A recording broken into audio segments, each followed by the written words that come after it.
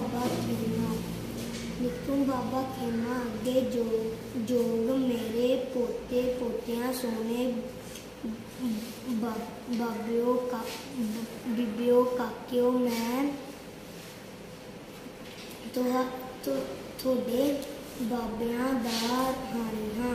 ਪੱਕਾ ਤਾਂ ਮੈਨੂੰ ਯਾਦ ਨਹੀਂ, ਪਰ ਅਤੇ ਸੱਟੇ ਮੇਰੀ ਉਮਰ ਅਸੀਆਂ ਵਾਰਿਆਂ ਦੇ ਨੇੜੇ ਤੇੜੇ ਹੋ ਅਸੀਂ ਕਿਹੜਾ ਤੂੰ ਕੀ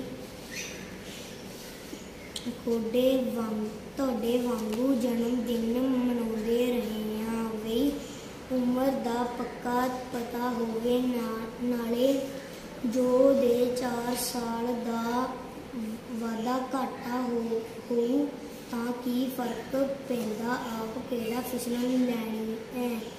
ਕਿਉਂਕਿ ਮੇਰੇ ਉੱਤੋਂ ਦੀ ਕਈ ਵਾਵਾਂ ਵਗੀਆਂ, ਵੱਡਾ ਕੁਝ ਮੈਂ ਦੇਖਿਆ ਤੁਹਾਡੇ ਜਮਾਨੇ ਤਾਂ ਵੱਡੇ ਹੋ ਹੋਰ ਤਰ੍ਹਾਂ ਦੇ ਆ, ਪਰ ਸਾਡੇ ਸਮਿਆਂ ਵਿੱਚ ਹੋਰੀ ਤਰ੍ਹਾਂ ਦੀਆਂ ਗੱਲਾਂ ਬਾਤਾਂ ਤੇ ਹੋਰ ਹੀ ਤਰ੍ਹਾਂ ਦੇ ਲੋਕ ਹੁੰਦੇ ਸੀ।